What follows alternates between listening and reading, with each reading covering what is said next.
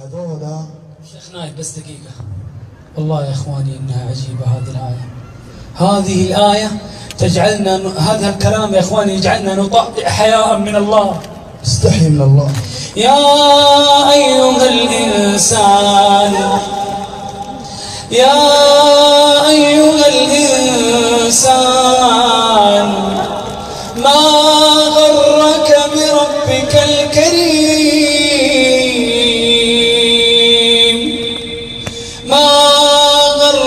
بربك الكريم.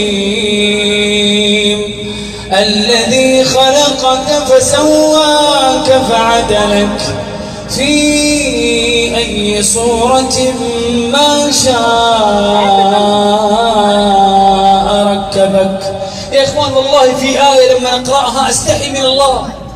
ولو يؤاخذ الله الناس بما كسبوا ما ترك على ظهرنا من دابة.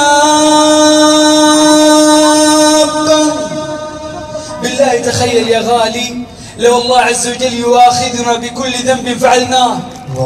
ما ترك على ظهرنا من دابة. ولكن يؤخرهم إلى أجل مسمى. فإذا جاء أجلهم فإن الله كان بعباده بصيراً